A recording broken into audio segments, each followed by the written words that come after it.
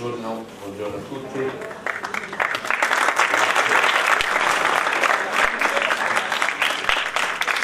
È una presenza interessante questa, sono eh, varie generazioni, quindi non è facile parlare nello, nello stesso modo efficace a generazioni diverse, ma è quello che dobbiamo imparare a fare. Mm, io sono qui per almeno tre motivi.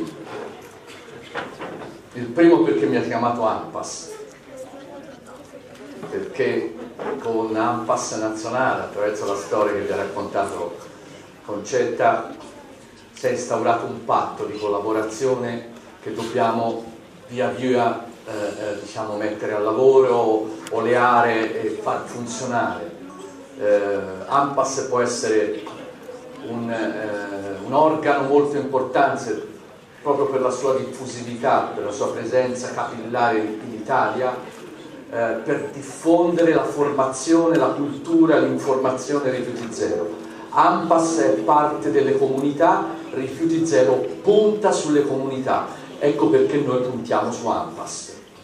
Secondo motivo è perché eh, io stamattina sono eh, venuto qui eh, Tronico per aprire la porta eh, di rifiuti zero in Basilicata.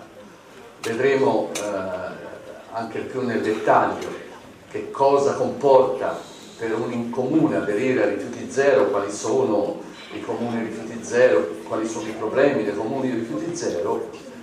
Il messaggio eh, negativo è che ad oggi tra i 200 comuni che aderiscono a rifiuti zero non ce n'è alcuno eh, della regione Basilicata. Ecco, ci piacerebbe che eh, l'Atronico fosse il primo comune lucano, come mi chiede di esprimermi usando questo aggettivo l'amico Enzo Favoino della scuola agraria di, di, di Monza, che mi ha mandato un messaggino adesso, dice io, i miei genitori sono lucani, chiama Lucania quella terra perché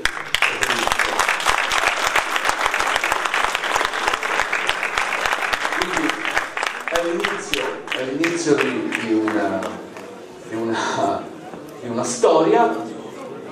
Io credo che anche questa sarà, diventerà una storia a lieto fine, o meglio a lieto inizio, perché quando si inizia c'è sempre, sempre l'energia della novità, l'energia della, eh, diciamo così, della la, la percezione di star facendo qualcosa che libera energia. Eh, e questo io lo dico per i, per i, giovani, per i ragazzi, è bellissimo, quando tu partecipi a qualcosa, due pompe grosse così ti fai.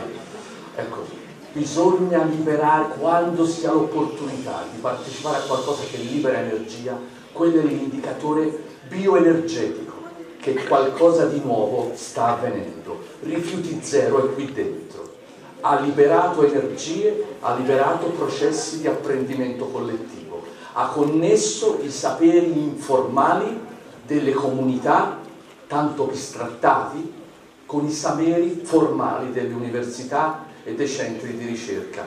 Questa è l'originalità, la genialità, la semplicità di Rifiuti Zero che credo sia eh, un elemento di speranza in tempi in cui la crisi eh, ha diciamo, frustrato, sta frustrando molti settori della nostra, della nostra società. Però io rimasi colpito quando nelle Filippine partecipai, partecipammo come delegazione italiana al quinto incontro mondiale, al sesto, ho perso, i conti, al sesto incontro mondiale della Zero Waste International Alliance, nel linguaggio orientale la parola crisi significa anche opportunità. Noi credo che non dobbiamo aver paura della crisi, la crisi rimescola le carte. E chi si eccita quando c'è rimescolamento di carte, quando c'è da, da dire delle cose nuove. Ed è bello partecipare a dire cose nuove, ecco, è il momento opportuno che entri a far parte della famiglia internazionale Rifiuti Zero.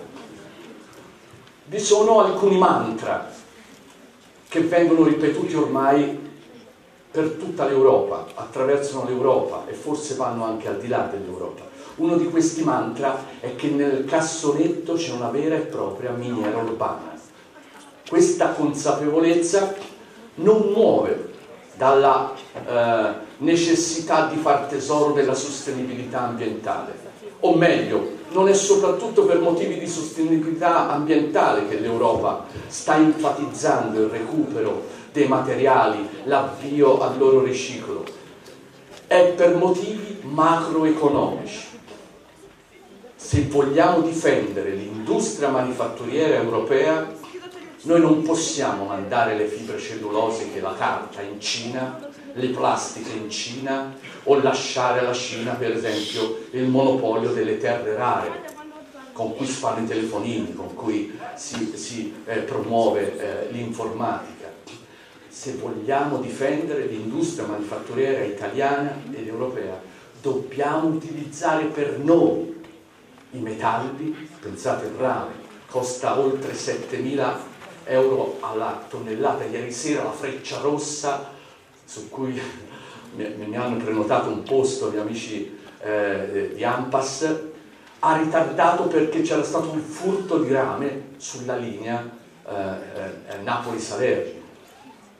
Ma l'alluminio hanno costi elevatissimi, ma anche le fibre cellulosiche. Sul libero mercato ogni giorno cresce, lievita il costo, il prezzo delle materie prime seconde gli analisti europei, funzionari europei, prevedono che nei prossimi 25 anni il fabbisogno di materie prime seconde aumenterà del 75%. Ecco perché nel 2012 si è detto con grande chiarezza nel Parlamento europeo che non si potrà più bruciare o mettere in discarica tutto quello che è riciclabile e compostabile. Siccome praticamente tutto è riciclabile e o compostabile, praticamente per la prima volta l'Europa, attraverso i suoi complessi livelli governativi, ha detto di voler imboccare la strada dei rifiuti zero. D'altronde il ministro per l'ambiente sloveno, Potonik, ha detto rifiuti zero è possibile.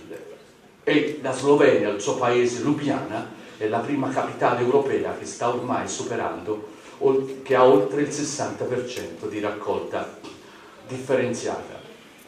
Ecco, se si può fare tutto schermo, ecco, allora eh, va bene, grazie. Eh, I 10 passi rifiuti zero, questi sono i 10 passi, io non mi fermerò su ogni stazione se non diventa la via Crucis, il primo e l'ottavo sono i passi fondamentali, probabilmente più importanti, quelli diciamo, eh, che fanno la differenza, che mettono in contatto con la caratteristica di eh, modellizzazione dei rifiuti zero. Rifiuti zero è un modello alternativo al modello tradizionale di gestione dei rifiuti, che si chiama Sistema Integrato di Gestione dei Rifiuti ha un nome così lungo, si scrive così, ma si legge incenerimento. Bene, questo è un modello alternativo. La caratteristica fondamentale del primo passo è di eh, ritenere il problema della gestione dei materiali di scarto non un problema da affidare all'ultima generazione dell'impianto. Non è un problema di macchina, non è un problema di macchine sempre più magiche nel distruggere i rifiuti risorsi. È un problema di organizzazione sociale, è un, è un problema di buona formazione, di buona informazione, di buona comunicazione, di buon coinvolgimento, di buona educazione. È la comunità che fa la differenza e fa la differenziata. Il problema della gestione dei rifiuti non è un problema, visto che ci sono tanti ragazzi, di hardware, ma è di software di idee organizzative, di come comunicare, arrivare fino all'ultima fila e spiegare dove si mette il tetrapack, dove si mette la carta della pizza, dove si mette la carta unta. Ecco, è questo che fa la differenza, è questo che rende la macchina sociale molto più efficiente della macchina tecnologica. Rifiuti zero dice no all'incenerimento dei rifiuti in tutte le sue forme sia eh, diciamo cosiddette dedicate sia alle forme non dedicate di incenerimento.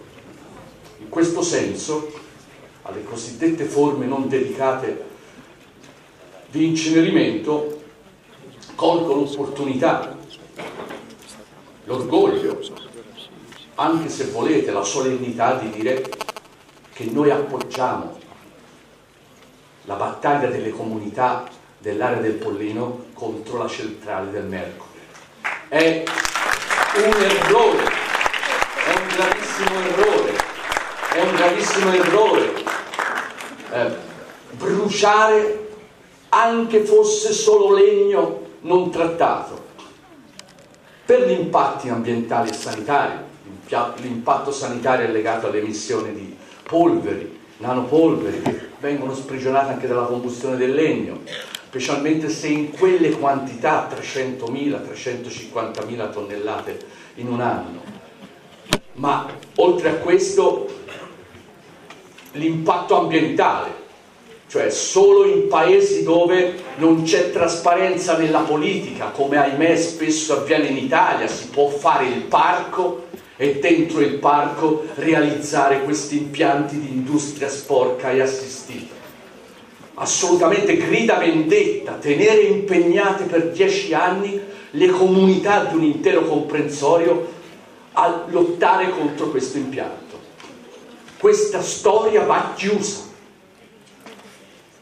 Io in questo senso, per quello che può significare, come presidente di Zero Waste Europe, sostengo la battaglia delle comunità del Pollino contro questa eh, centrale elettrica. Non è assolutamente sostenibile. Invito i sindaci, invito tutte le comunità a fare un lavoro di eh, cooperazione, di sostegno economico, eh, psicologico, di, di appoggio eh, politico-culturale a coloro che lottando contro quell'impianto tengono aperta la porta allo sviluppo di, una, di un modello ecosostenibile per, questa, per quest'area. L'industria sporca lascia sul terreno, lascia alle comunità le scorie e non si sa dove porta il bottino.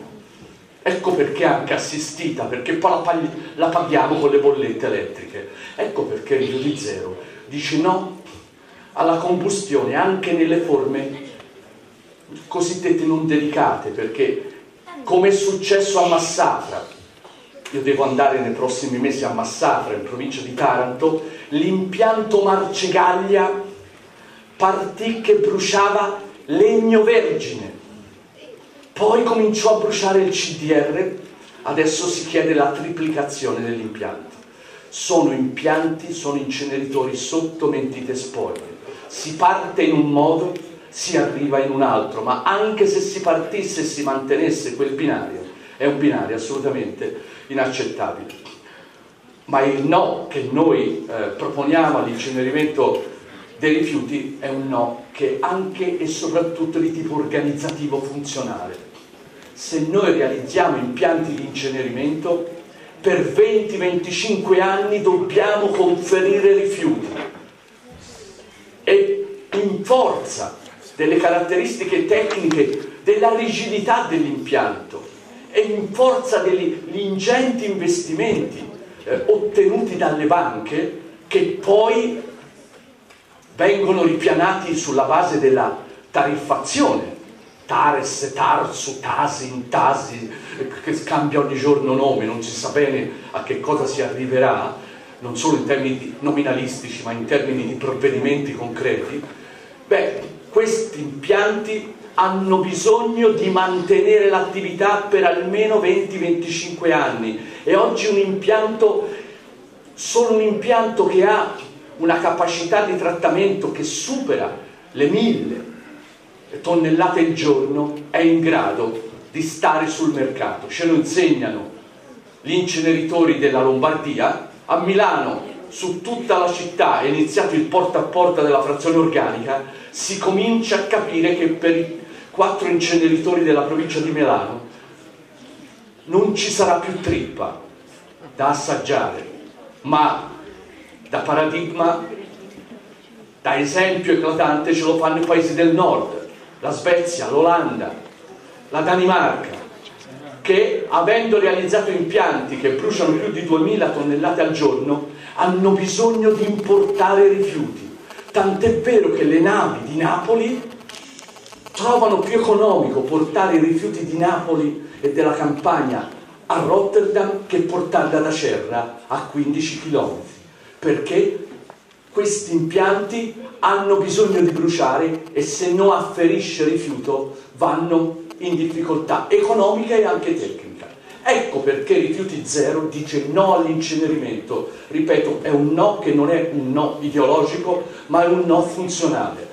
Se si fa l'inceneritore non si fa riduzione, non si fa riparazione e riuso, non si promuovono le buone pratiche di riciclo, non si promuove il compostaggio né di impianto né eh, eh, di tipo domestico. Rifiuti zero, quindi punta sulle comunità, non si ripeta mai più lo schema di Napoli, quando dal 29 agosto del 2004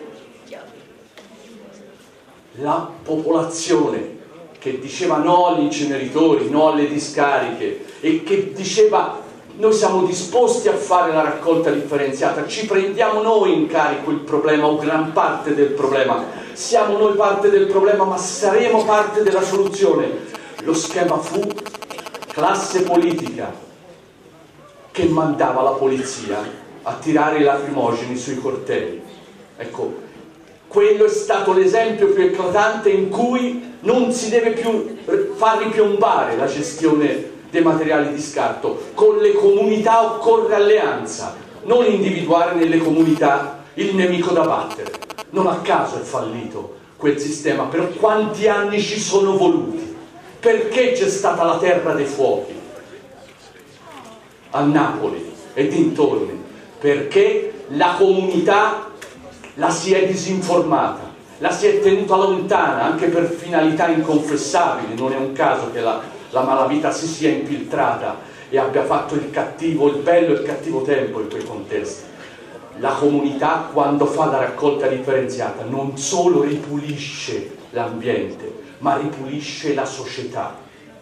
Perché quando sono le persone che decidono dove mettere il vetro, dove mettere il, il polimero plastico, dove mettere il metallo e così via, non solo risolvono in modo positivo per l'ambiente e per la salute un problema di grande rilevanza anche economica per i bilanci comunali, ma impediscono che la criminalità inquini, inquini come è successo non solo a Napoli, il, eh, il, eh, il mondo politico crei strane e profonde e cancerogene alleanze con gruppi eh, politico-affaristici, quindi Rifiuti Zero non parla di rifiuti, ma parla di buona democrazia, di buona società, di buona, di buona comunità.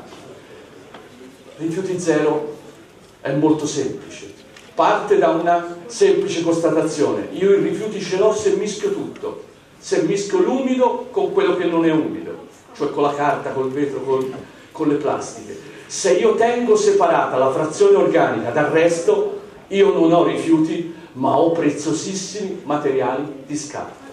È questo che ci dice il primo passo dei 10 eh, rifiuti zero. I passi successivi sono se organizzo un sistema porta a porta, ottengo risultati che immediatamente fanno schizzare oltre il 65, il 70%, anche forse oltre l'80%, occorrono adeguate isole ecologiche o ecocentri per portare materiali ingombranti, per portare certe eh, tipologie di scarto, pensiamo ai pannoloni, pensiamo ai pannolini, pensiamo ai calcinacci, pensiamo allo scatolone del frigorifero di carta ma che è ingombrante, che non riesco a mettere dentro il bidoncino della raccolta porta a porta e occorre ben comunicare alla comunità come si fa.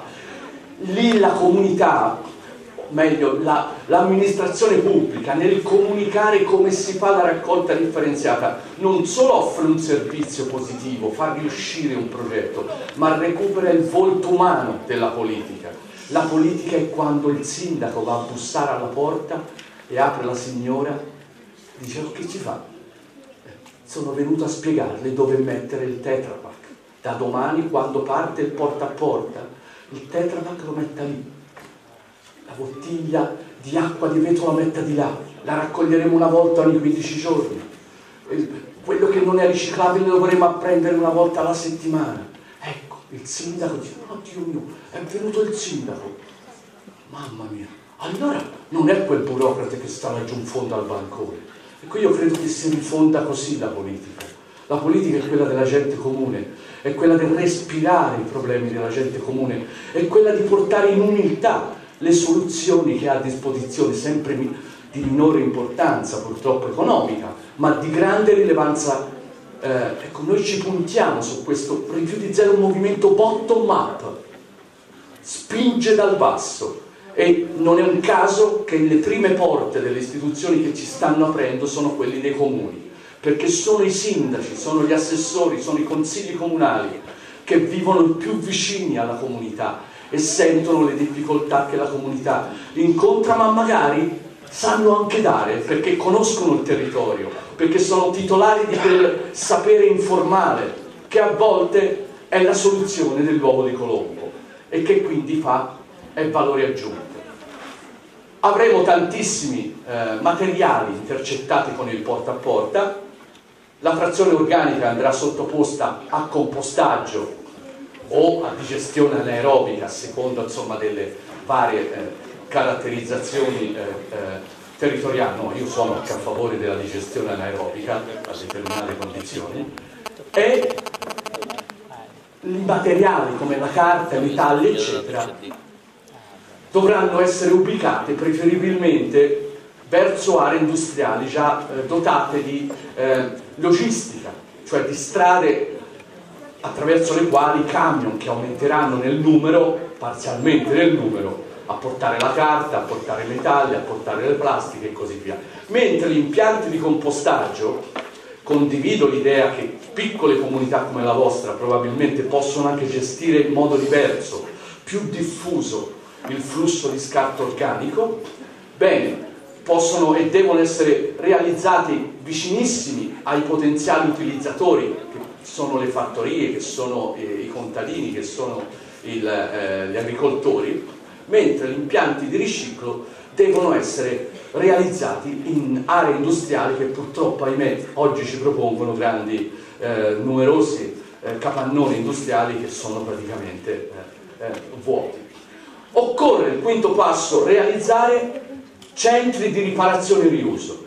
È stata fatta un'indagine a, a, a, Los Angeles, su 100 dollari 40 dollari vengono dalla commercializzazione dei beni seconda vita, dai mobili usati, dagli elettrodomestici usati, da oggetti usati, quindi promuovere centri di riparazione e riuso è un modo per promuovere piccola ma significativa impresa locale. Io l'altro giorno sono stato chiamato a Livorno, dove un gruppo di giovani ha occupato un grande locale dell'ASL, lo hanno ripristinato, imbiancato, abbellito, anche perché il comune non ha risposto alle proprie sollecitazioni, e hanno cominciato a riparare i divani e hanno dato lavoro a otto persone, alcune delle quali licenziate per esempio da Conad, senza fare pubblicità. Anche qui, voglio dire, se venissero messe a sistema queste idee, i risultati sarebbero importanti e significativi nel sud, ma non solo nel sud, c'è questa sciagura della disoccupazione giovanile. Dobbiamo inventarci delle soluzioni, ci sono a disposizione, ma io para, parafraso sempre la canzone di Cocciante, ci sarà pure un perché se negli Stati Uniti l'industria del riciclo impiega più addetti dell'industria automobilistica. Ci sarà pure un perché se l'unico fatturato che in tempo di crisi in, in, in Europa aumenta è quello del riciclo e dopo viene quello delle energie rinnovabili. Il riciclo è l'industria che fa spinta. Non è un caso che nel 2011, nel novembre 2011, l'Unione Europea ha prodotto un paper, ha prodotto un report, un, uno studio in cui si dice l'uscita dalla crisi in Europa ci sarà quando saremo capaci di promuovere come volano l'industria del riciclo. Si faccia finita di ritenere la questione del riciclo, la questione di una virtuosa gestione dei materiali di scarto come una questione marginale. è una questione che coinvolge la sostenibilità ambientale, ma coinvolge anche il futuro imprenditoriale e il futuro eh, occupazionale di, di tutto il nostro paese, di tutto il nostro paese, in particolare nuove professionalità, nuove domande di lavoro potranno essere messe a disposizione soprattutto dei ragazzi, soprattutto dei giovani. Il sesto e il settimo passo ci dicono che bisogna si può ridurre i rifiuti, poi vi farò vedere velocemente alcuni esempi attraverso delle slides, anche a livello locale, con eh, i rivenditori alla spina, no all'usa e getta, no alle bottiglie di plastica nelle scuole, nei, nei momenti pubblici. Eh, bisogna riconoscere lo sforzo che fa la comunità. Oggi c'è un dibattito preoccupante sulla Tares. Sono arrivati, sabato era Montefiascone, volevano picchiare il sindaco. E sono arrivate le bollette. Cioè ragazzi, bisogna essere chiari. Le colpe non sono sindaci, ora sono quelli che arrivano sempre in fondo. Non voglio assolvere né questo né quello di sindaci. Però i cittadini quando fanno la differenza e la differenziata devono essere riconosciuti nel loro lavoro. Eh, è un piccolo sforzo. Eh, si fa per senso civico, si fa per la vita del bambino, per la vita del nipotino, per il futuro, ma si deve fare anche per l'economia della pizzeria. Le pizzerie vedono aumentare del 200-300% a seconda di quale regolamento passa per la Tares quindi può fare anche differenza economica per la ristorazione. Chiudere o lasciare aperto o assumere un cameriere. Quindi molta attenzione, bisogna riconoscere incentivi economici, quello che avviene attraverso la tariffazione di igiene ambientale, cioè pagare in base alla frequenza del ritiro del sacco dell'indifferenziato. Più virtuoso sono, meno pigro sono nel separare e meno pagherò più pigro sarai e più, e un po' più sudicione sei e più è giusto che paghi. Ecco, quindi rinforzo, magari non si fa per 60-70 euro un fondo all'anno, ma anche con 60-70 euro si rinforza il messaggio, si comunica in modo efficace, dice, allora il sindaco mi ha detto che sono stato bravo. Quindi non è solo per il vil metallo che si fanno certe cose, ma l'economia, la microeconomia può aiutare. Nel caso invece delle utenze speciali di certe categorie di esercenti non è affatto microeconomia, ma è macroeconomia per quei bilanci che non sempre sono al massimo. Arriviamo, ecco, fino al settimo passo si risolve il 70% del problema, il protagonista è la comunità. Lo può fare l'atronico, voi potete arrivare anche all'80-85% su, su, sulla base di esempi che ci sono non solo al nord-est, a Sburgico, non solo al nord-ovest eh, piemontese, ma anche arrivando a Salerno. Ieri sera ci siamo fermati in pizzeria, proprio un pezzettino borbonico, ecco, eh, a, un pezzettino di pizza, una fame che crepava, eh, e c'erano tutti i contenitori, il vetro, le plastiche, tutti io, siccome sono un fissato, sono andato a aprirli eh, e c'era tutto pulito. Quindi dov'è questo mito odioso, razzista del sud sudicio? Quando si offrono i servizi funzionano nel nord-est, nel nord-ovest, nel centro, anche a Pisa, anche a Pisa, cioè, che è rivalità del Salerno è il comune più proposto d'Italia che ha la più alta percentuale di raccolta differenziata. Non ci facciamo ingannare quando ci dicono eh, ma il cittadino che non è all'altezza. Sei tu che non sei all'altezza di amministrare quei cittadini.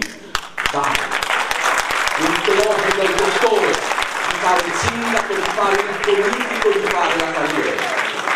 Va bene? Su questo bisogna essere determinanti. I rifiuti zero, dico sempre, opera il sud della passione civile ed il nord dell'expertise, eh, ma il sud della passione civile è fondamentale, essere ben disposti verso gli altri, non essere furbetti. Non pensiate che essere furbetti risolve il problema. Bisogna guardare in faccia la realtà e se si conta su un buon gruppo di amici siamo fortissimi, è quella la nostra forza, essere parte di un messaggio e di una realtà di solidarietà. A quel punto siamo imbattibili, inevitabilmente avremo dei problemi, ma se siamo delle persone dentro una comunità i problemi li risolveremo e credo che ci ricorderemo positivamente anche di quel passaggio di vita. Il 30% residuo è ciò che è stato provocato dalle, dai produttori, dalle imprese. Hai prodotto il Tetra Pak, come si fa a riciclare? Ma dove si mette? Nella plastica?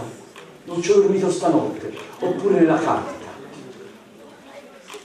Il tetra si può riciclare, io vengo da Capagnolo, il distretto cartario più importante d'Europa, esiste Lucart, quella che fa i fazzolettini, ecco Lucart, che voleva fare una volta l'inceneritore, glielo abbiamo impedito per bruciare i fanghi, ne produceva grandissime quantità perché voleva produrre il bianco, il bianco del, dei tovaglioli, eh, molto lucidi perché eh, la luciditezza è la nostra fissazione, no? se non c'è uno splendore supero, sopra gli 80 gradi, mi dicevano non ce la comprano al supermercato. Beh, non sono riusciti a farlo, hanno realizzato una macchina che recupera le fibre cellulosiche dal Tetra Pak, Tetra Pak è formato per il 65% da, da carta, e il resto da un misto di alluminio e di plastica polietilene che si chiama ecoallene, che dà origine a un prodotto dove rimane misto ma può essere utilizzato in applicazioni plastiche. Quelle fibre che si recuperano dal tetra sono fibre lunghe e quindi con quelle si può fare anche carta tissue, la carta degli asciugoni e, e, e roba di questo tipo, però comunque sia il Tetra Pak è un uso e getto noi dobbiamo uscire dal cerchio incantato dell'inciviltà, dell'usa e getta. Non è più possibile, io ho bambini di prima, arrivano con la bibitina, con la bibitina in, in, in, in tetrapack e poi boom, la tirano via subito. Eh, no, poverini, che devono fare? Ma magari gaffa perché c'è anche il, la cannuccina, ma non va bene, anche se fosse riciclabile. In realtà poi la gran parte del tetrapack viene bruciata anche se viene inviata a corretto riciclo, attira, è appetibile perché produce eh, eh, energia elettrica, anche se economicamente il percorso che, di cui vi ho parlato prima è, è molto interessante e sostenibile oltre che sul piano ambientale. Noi bisogna uscire dalla logica. Non va bene non va bene perché ogni volta che faccio così la generazione che viene dopo ce n'ha 100 di meno di questi bicchierini che io ho tirato via. Non è nemmeno giusto nel rapporto con le generazioni. Chi fa così e soprattutto tiene in vita quel sistema che permette di far così, forse costringe anche di far così, depriva le generazioni che verranno dopo della possibilità di poter vivere su un pianeta che sia riproducibile anche, anche per loro allora noi abbiamo un 30% che rimane. E il passo numero 8 si divide in due parti, 8A e 8B. Comunque sia quel 30% lo devo trattare, ma non necessariamente lo devo avviare a incenerimento dei rifiuti, non necessariamente lo devo bruciare in cementifici, che ora insieme alle centrali non dedicate eh, chiedono, reclamano di poter bruciare i rifiuti si può realizzare degli impianti che noi chiamiamo a freddo che sono ancora in grado di estrarre quelle risorse che sono fuggite dalle maglie strette del porta a porta.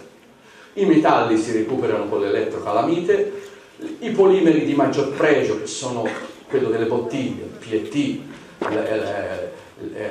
l'HDPE, l'LDPE, il polipropilene, il polietilene in genere, lo si può riconoscere attraverso dei set di lettori ottici che riconoscono addirittura eh, quali sono le plastiche che hanno polimero omogeneo, che sono quelle che hanno un grande, 400, 500, fino a 700 euro a tonnellata vengono remunerati sul libero mercato, quindi raccogliere le bottiglie, ce ne vogliono tante per fare una tonnellata, però eh, significherebbe, eh, diciamo così, incamerare potenziale economico non indifferente. La frazione organica che è sfuggita al porta a porta, pensiamo alle grandi ristorazioni che magari non fanno buona informazione al loro personale, pensate ai bar dove il cliente magari butta il pezzo della, della pasta in un cestino dell'indifferenziato anziché nel, nel pinoncino dell'organico. Bene, eh, la frazione organica che sfugge si stabilizza, cioè si eh, sottopone a un processo di compostaggio aerobico, come diceva eh, prima eh, il ricercatore, non si inertizza al 100%, però il, il livello di cessione di liquidi, di percolati, che sono quelli che creano i, i disastri per le falde freatiche, per le falde acquifere del, eh, de, dove, dove, vengono eh, realizzati i buchi delle discariche, si riduce del 90%, si abbattono gli odori drasticamente, non puzzano, non si attirano gli animali e insomma si possono mettere poi questi eh, terreni in, eh, a ricopertura discarica in modo da tenerli lontani dal centro della discarica stessa.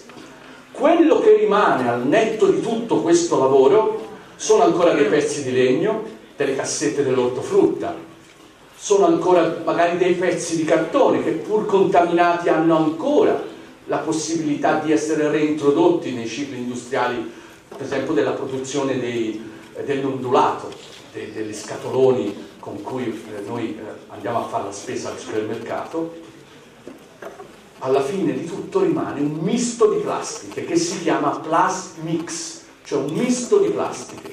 Bene, queste plastiche oggi noi abbiamo degli impianti che lavorano su ampia scala, io ne cito uno di Pordenone, ne cito un altro di Este in provincia di Padova, ne cito un altro in provincia di Rovigo ad Occhiobello, in realtà più vicino a Ferrara, che che sono in grado di trasformare questa plastica mista fatta di polimeri spuri che non legherebbero con loro se non aggiungendo degli additivi che li impastano tra di loro, sono in grado di produrre un elenco di 18 manufatti che vanno dalle cassette dell'ortofrutta, i vasi dei fiori, gli europallets, i, i profilati, i profilati sono le tavole per pavimentare le piscine, per costruire parchi pubblici.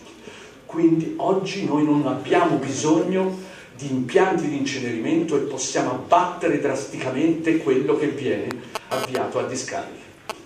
Se io cento in un impianto del genere, da un impianto del genere sotto forma di eh, flusso da avviare a smaltimento sarà 10-12 kg ma noi dobbiamo abbattere anche questi 10-12 kg ed ecco il passo 8b. Tutto quello che rimane sullo stomaco del sistema di digestione dei rifiuti, rifiuti zero lo vuole vedere.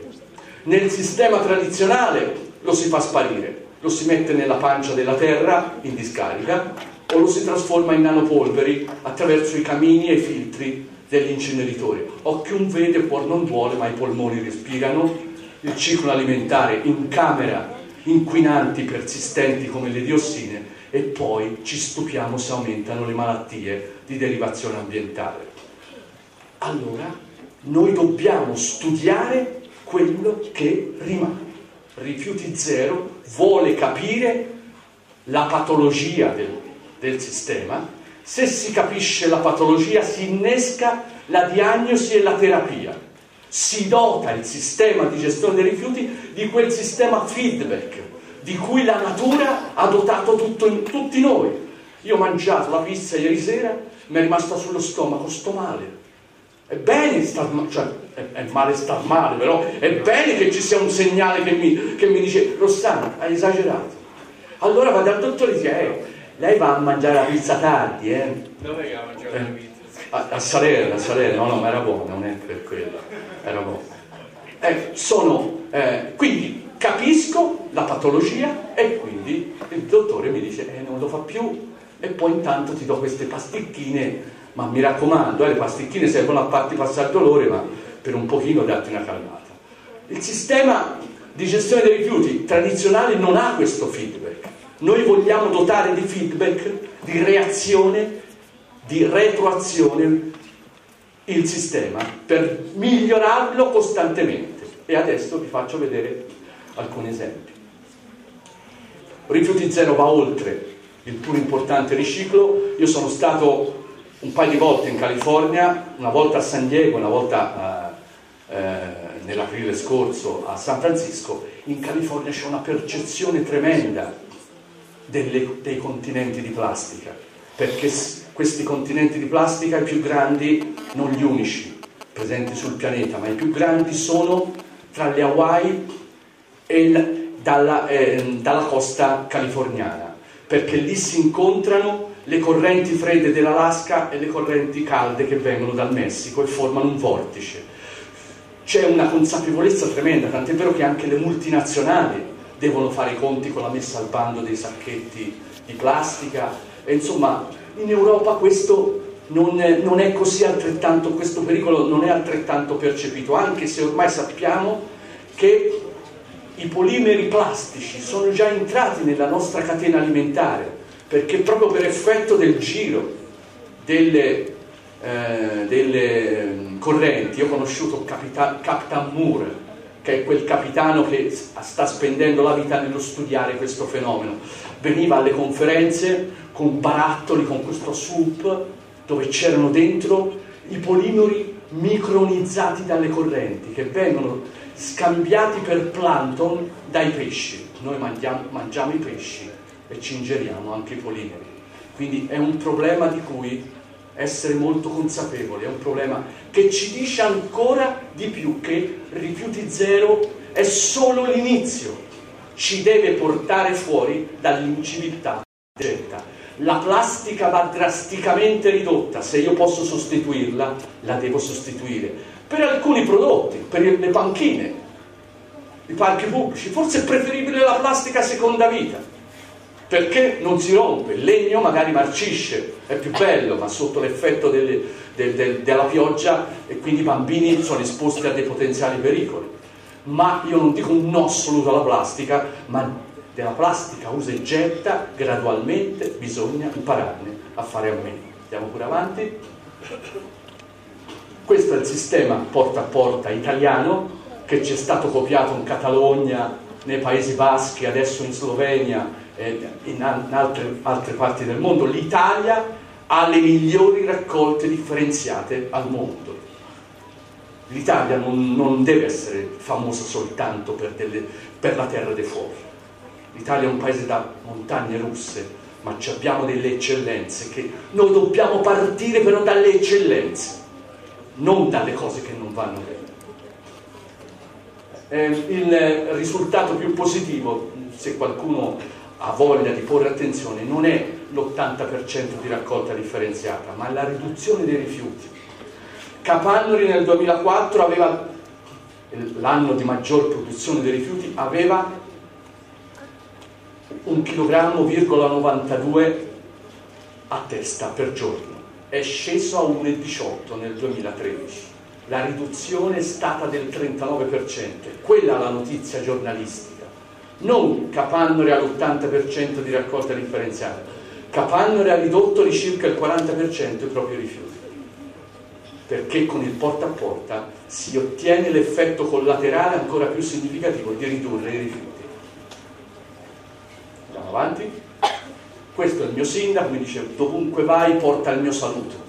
Ecco, io l'ho portato, eh? Va bene? Eh, nel 2007 io e Paul Connet inviammo una lettera attraverso il protocollo, l'URP, e venimmo ricevuti dopo 40 minuti, dopo aver spiegato il senso di quell'incontro, Giorgio, il sindaco, telefonò e disse Rossano, questa è una cosa che mi, mi garba, come si dice in Toscana, si fa, rifiuti zero.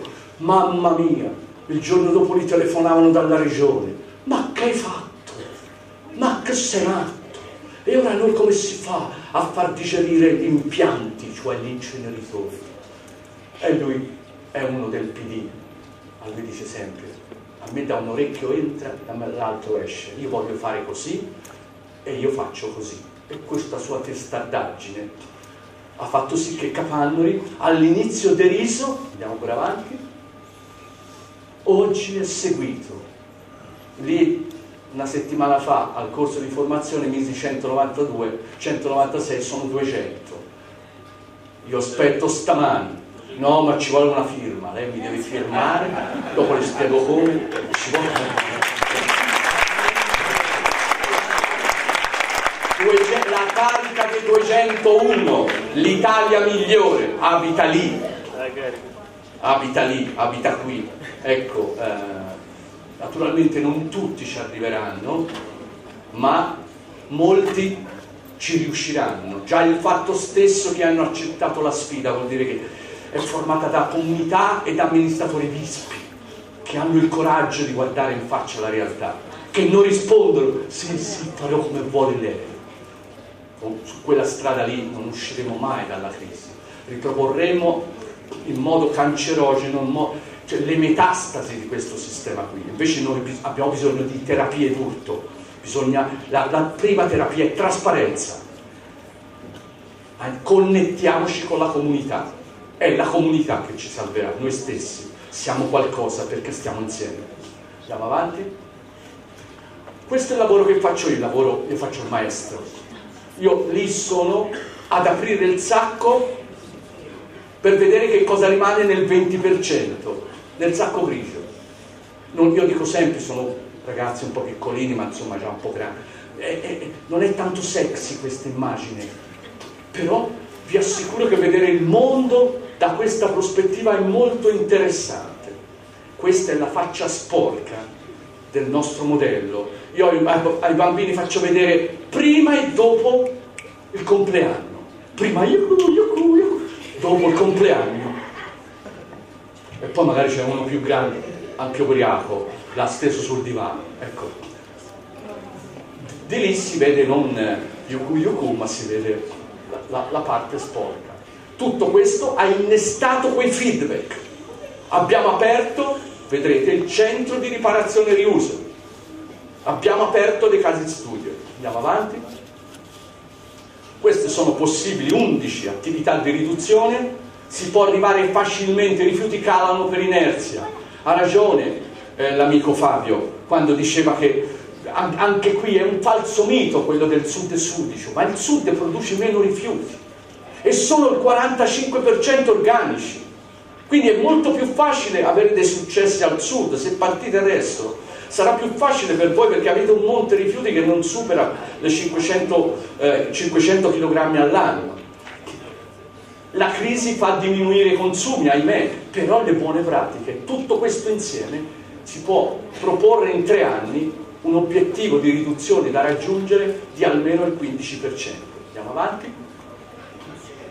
Questo, anche questa è una storia, questa è la fidanzata di un ragazzo che stava chiudendo la stalla io mi immagino aveva queste mucche magre, finite, va dal sindaco perché quando, quando, qualcuno ha un problema va sempre dal sindaco, cioè io avevo la stalla, la, devo chiudere, eh, ho sei, mi sono rimaste sette vacche, vogliono scappare anche quelle.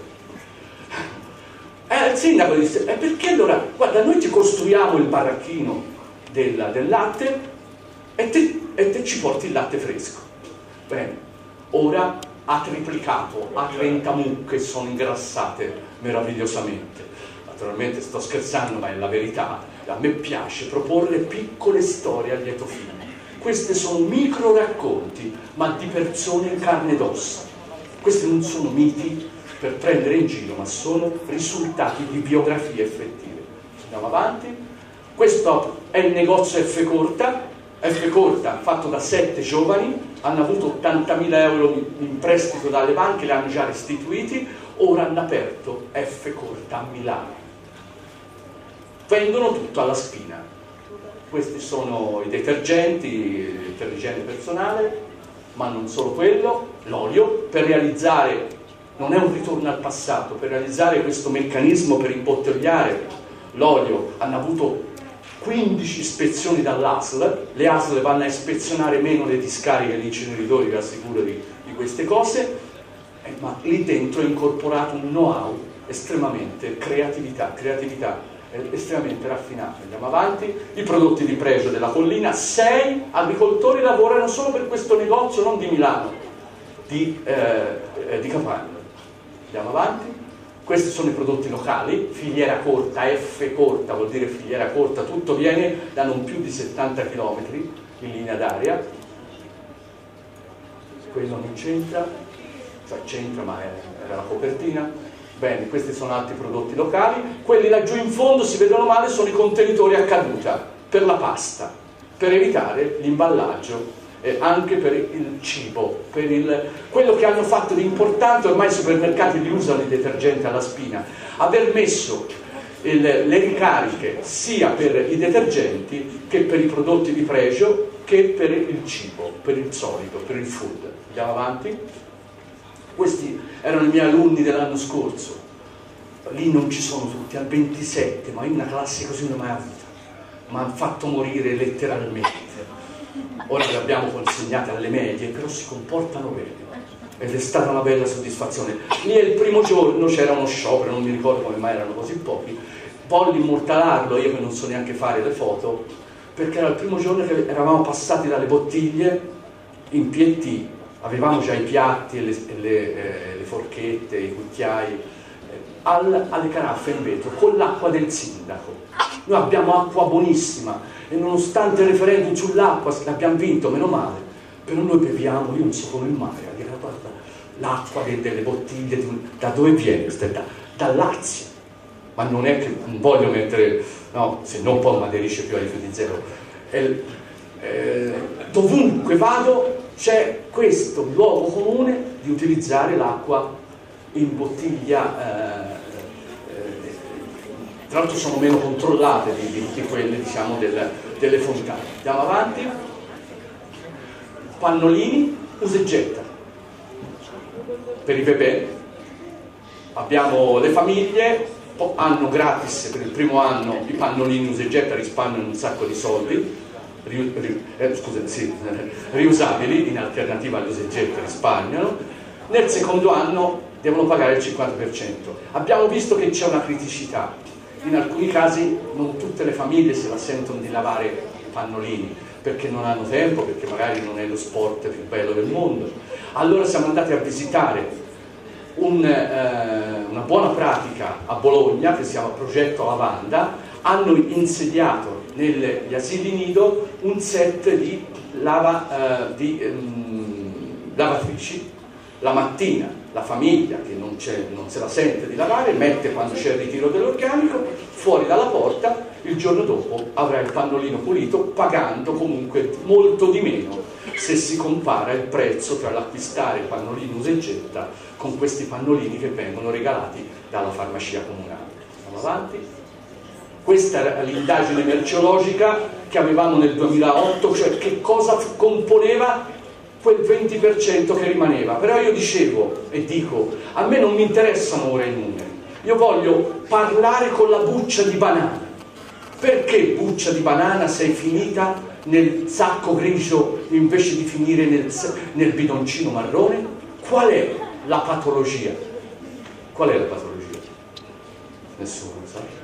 Poca informazione. Bisogna, la terapia è informare di più la massaia e se questa frazione organica che è finita nel, nel eh, sacco grigio, nell'indifferenziato, viene dalle ristorazioni, la terapia è la TIA puntuale, cioè pagare in base a quanto rifiuto indifferenziato produci. Quindi meno ne produrrai e più risparmierai nella conduzione del tuo ristorante. Questa, questo è un esempio è un esempio di come è importante per i rifiuti zero vedere il corpo del reato, studiare effettivamente la patologia per capirne le soluzioni. Andiamo avanti. È il team al lavoro, io nel mio team ho un agronomo, vedrete che importanza ha questo giovane neolaureato all'Università di Firenze, ho due designer, ho dei professori, ho dei semplici attivisti, ho qualcuno che se la cava bene con il computer e facciamo ogni due, ogni due volte al mese l'ispezione alla stazione di trasferimento per studiare il residuo. Quello alto è il professor Paul Connet perché abbiamo un team operativo e un comitato scientifico presieduto da Paul Connet con Enzo Favoino della scuola agraria del Parco di Monza che è il coordinatore scientifico. Andiamo avanti. 2010, era di questi tempi, tutti vanno in discoteca per l'ultimo dell'anno, noi andiamo a vedere il sucio. Ci troviamo una caterva di queste pasticconi, delle capsule usa e getta, Lavazza ma anche Nespresso, ma anche Illy, ma anche Cop. Allora andiamo avanti, per altre, altri tipi a modo mio, andiamo avanti, avanti, ecco, studiamo, cominciamo lì. Il designer dice ma che cos'è, imballaggio o non imballaggio? Che plastica è? C'è solo la plastica e il fondo del caffè o anche qualcos'altro? C'è anche un, un, piccolo, un piccolo, filtro eh, cartaceo. Vediamo. Lo trasformiamo in caso studio e io scrivo una lettera alla Lavazza, d'altronde sono un piccolo maestro fiorentino, lucchese, insomma, per la verità, e scrivo il messaggio è semplice, la comunità sta dando il meglio di sé, raggiunge l'80%, forse potremo arrivare all'85%, forse all'86%, ma noi ci siamo informati, non c'è alternativa allo smaltimento per queste capsule. Sono un errore di progettazione industriale. Fa parte di quel 20% che va messo letteralmente nelle mani di chi ha creato il problema ci date cortesemente una mano? La mattina dopo, nella quinta terribile, mentre sto spiegando geografia, mi arriva una telefonata. Sono la responsabile dell'ufficio stampa di Lavazza. Grazie. Come? Stai zitto! Ecco, ci invitano all'Innovation Center di Torino. A Torino troviamo, a febbraio andiamo, troviamo AIPA, che è il settore di Confindustria che tratta il prodotto alimentare italiano, quindi non una cosa da poco.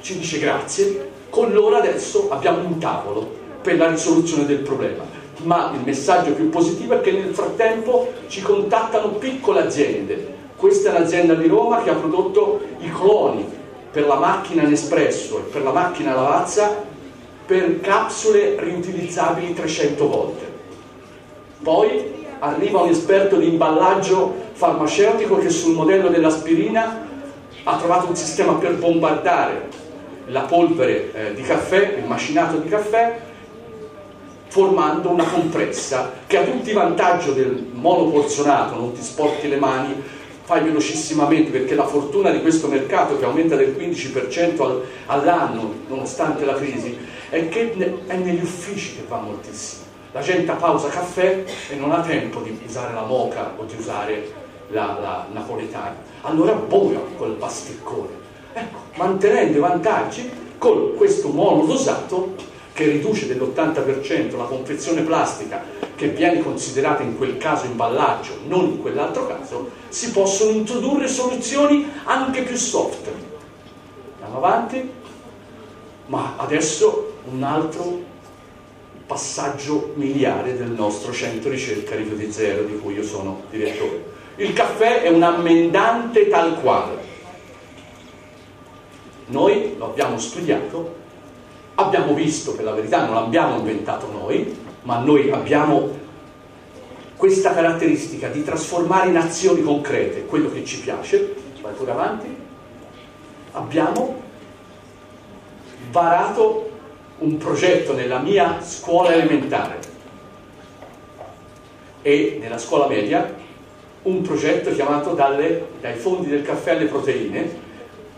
Adesso abbiamo prodotto i kit, un chilo di caffè con l'aggiunta di bicarbonato e di segatura, abbiamo inoculato il, il micelio, il semino che abbiamo acquistato, quando torneremo dalle vacanze ci saranno i primi funghi e a febbraio faremo una gara culinaria con le famiglie per chi ha cucinato meglio questi funghi. Siccome non vogliamo andare finire in galera perché magari questi funghi sono, sono velenosi, muoiono tutti, l'ASL di Lucca, il settore della, eh, della micologia, ci ha ringraziato, è venuta, ha detto che ci farà eh, le analisi di commestibilità nei laboratori del CNR di Pisa. Ma noi questo micro progetto pilota lo facciamo guardando all'economia. Questo, che sembra una, una, una sciocchezza, tanto è semplice e banale, è un esempio di blue economy, molto più avanzata della cosiddetta e strombazzata green economy, che spesso è quella della centrale del Mercurio, perché loro mettono il bollino verde per una cosa sporca. Questa è Blue Economy. E pensate che il fondo del caffè rappresenta almeno l'1% dello scarto del comune di Capagnoli. Sono circa 250 tonnellate.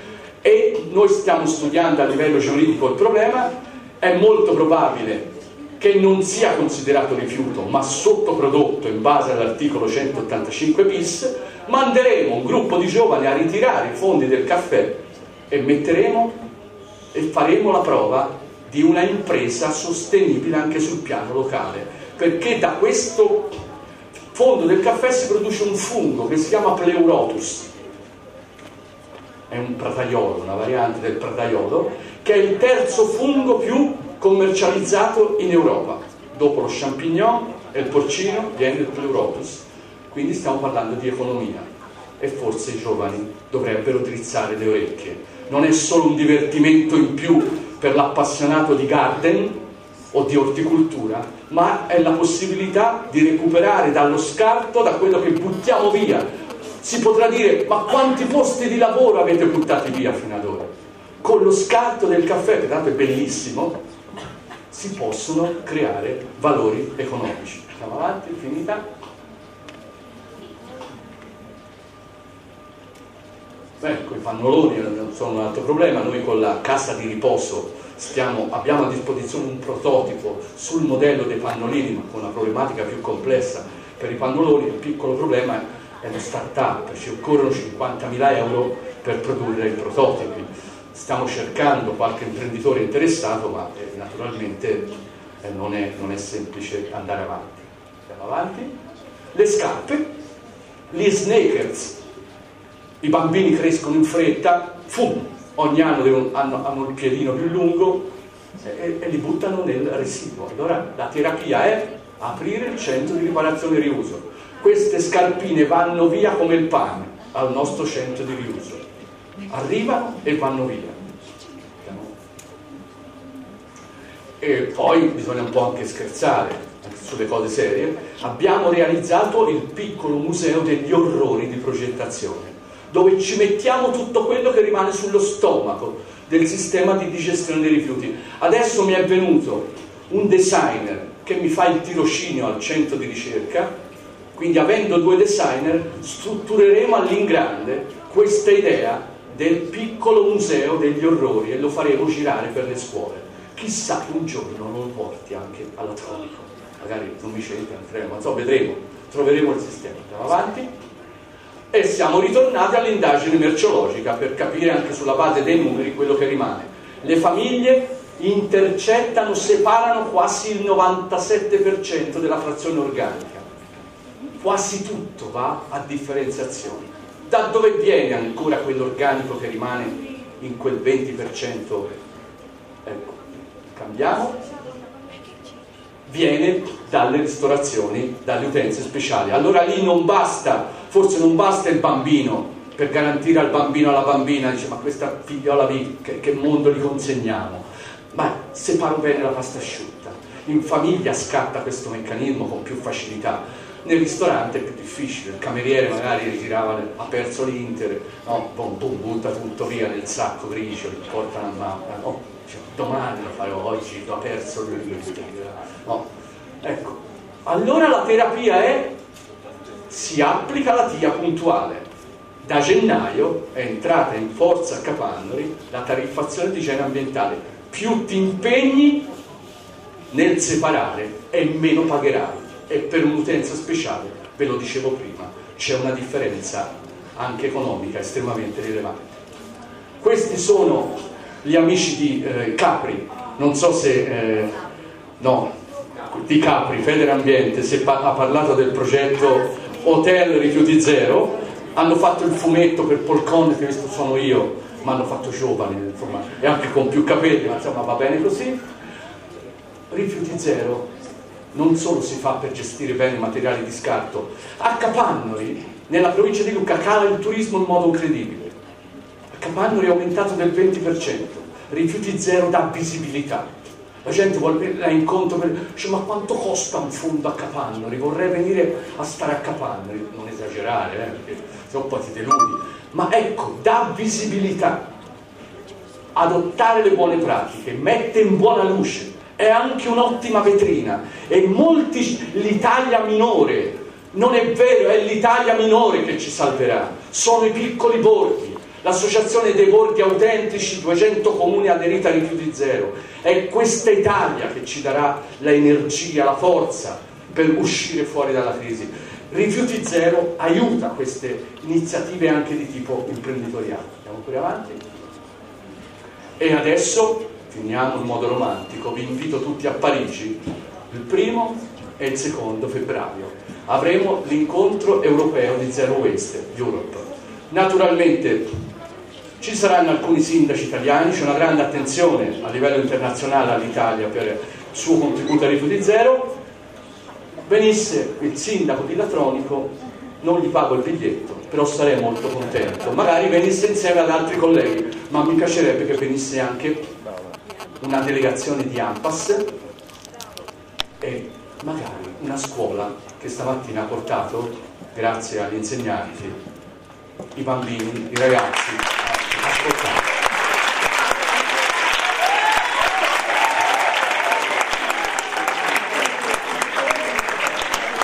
Rifiuti zero è un messaggio positivo, molte cose non vanno, ma noi dobbiamo imparare da, dai buoni incontri e dalle buone pratiche.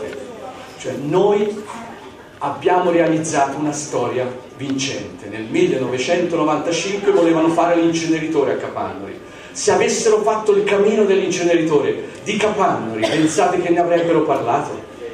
Oggi è venuto Le Monde a intervistarmi, è venuta Repubblica il giorno dopo, è venuto il Corriere della Sera, mi hanno chiesto di scrivere un libro per la Garzanti, c'è una cosa che fa tutta a me, capita.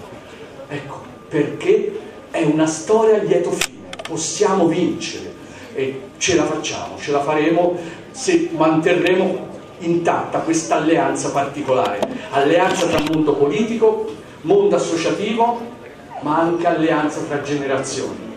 Dovete collaborare, ragazzi, con i vostri insegnanti, con vostri, le vostre famiglie, però quando le famiglie non fanno la raccolta differenziata dovete essere voi a dire mi stai rubando un pezzettino di futuro, per piacere, la buccia di banana che è finita nel contenitore grigio, valla a riprendere e metterla nel bidoncino marrone.